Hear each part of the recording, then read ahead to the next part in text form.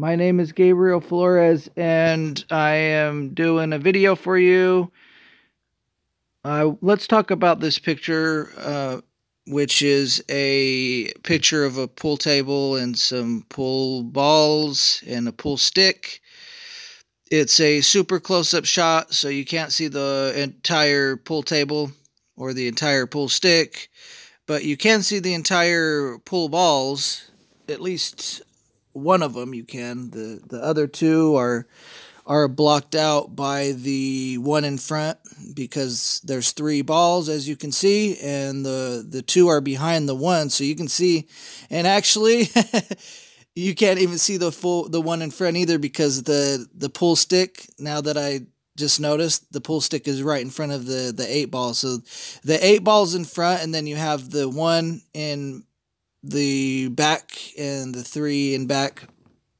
The one is in the upper left corner, and the three is in the upper right corner, and then the eight ball is right in the center of the image, and then the pull stick is coming in from the lower left corner. The pull stick is brown, black, and white, and basically how they do it is uh, they take a piece of wood and they make it really nice and then the tip they they outfit the tip. They they make the tip a little bit thinner and then they throw a piece of uh, black plastic over over the the tip and then on top of that black plastic they throw a cap a white cap um, which is like a a specialized material that you can throw chalk onto to give you a better uh, grip. It's kind of weird because chalk is, you know, chalk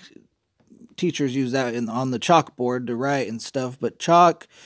Uh, other people, uh, sports athletes that use chalk that I know of are heavy weight lifters who lift weights. They throw chalk onto their hands to before they grip onto the the bar that they're lifting up that contains the heavy weights.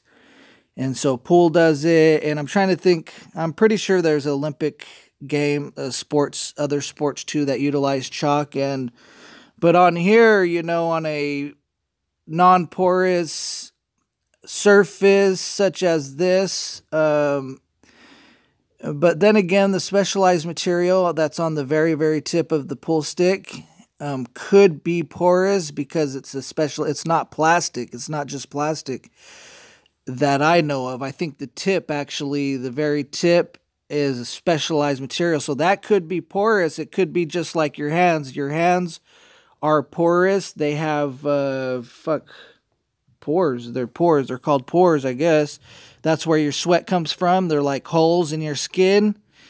And so when you put chalk on there, you know, it's a porous surface. That's usually the type of surface is important to um, grip and stuff like that. And because uh, obviously, if you think about it, if your hands are sweating, you're not gonna, your hands are gonna be slippier, slipper, more slippery uh, generally if you're gripping like a hard surface or surface or something like that. But if you're like picking up a piece of like a rock or something like that, you know, is your hand is it going to be more slippery? Um, is it uh uh it so it, it all depends on the thing, but so you know this is would be worth looking into. I got to get out of here. See you later, guys.